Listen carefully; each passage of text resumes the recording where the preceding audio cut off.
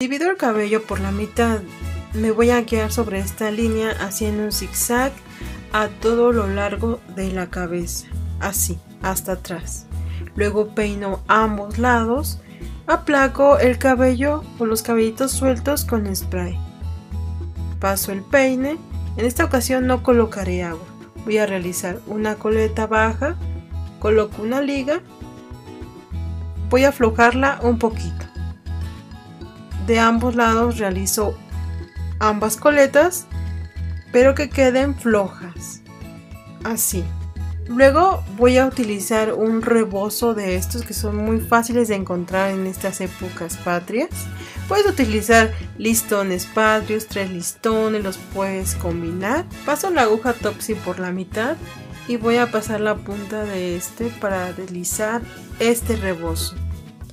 Así, poco a poco sin jalar. Recuerda que la coleta debe ser floja. Deslizamos llevándolo más o menos a la mitad a la mitad de la cabeza.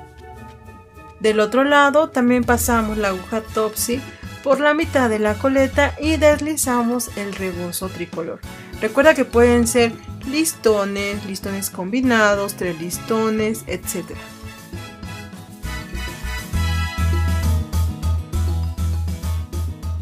Ahora ya tenemos este rebozo donde queremos, así, a la mitad, ya pasado por ambas coletas. Ahora tomamos o dividimos la coleta en dos y vamos trenzando o tejiendo una trenza de tres sencilla. Así, que nuestra tercera hebra sea la del rebozo o del listón. Así vamos tejiendo hasta terminar todo el largo del cabello realizando una trenza de tres sencilla. Al final coloca una liga puede ser negra del color del cabello o transparente. En este caso yo tengo transparentes, así que de esas me ayudaré. Ahora divido la otra coleta en dos, puede ser en dos, en tres o los mechones que quieras. Pero para más sencillo la dividimos en dos y continuamos tejiendo una trenza de tres. Que nuestra tercera hebra sea la del rebozo. Y al final de esta colocamos una liga negra o transparente. Ahora hacia la parte de atrás vamos a cruzar las trenzas. Las cruzamos y las llevamos hacia el frente de nuestra cabeza. Así. Justo aquí en la coronilla hacemos un nudo y vamos a realizar un moñito, así de esta manera. Vamos a hacer un nudito sencillo para realizar un moño lo abrimos perfectamente para que se vea más abultado o con más forma. Para que quede en su posición puedes colocar pasadores u horquillas para que quede fijo.